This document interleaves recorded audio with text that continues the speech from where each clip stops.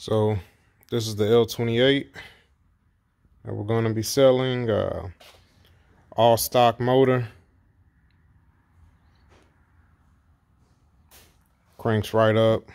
Runs good. What's going to be included?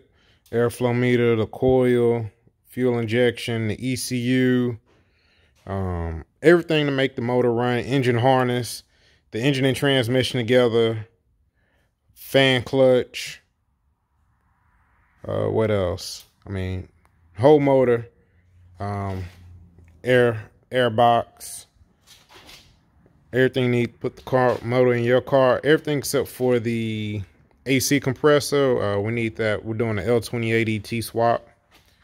Car starts right up.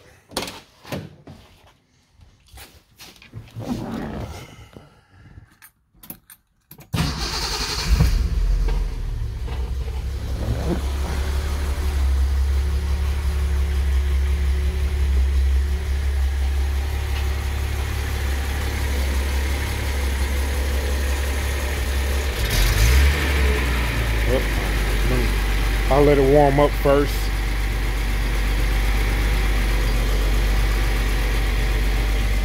Um, exhaust manifold. Uh, I mean, you can have as much of the exhaust as you want. See?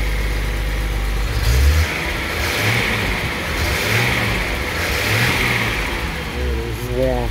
It's ready to go. Wherever you want to go.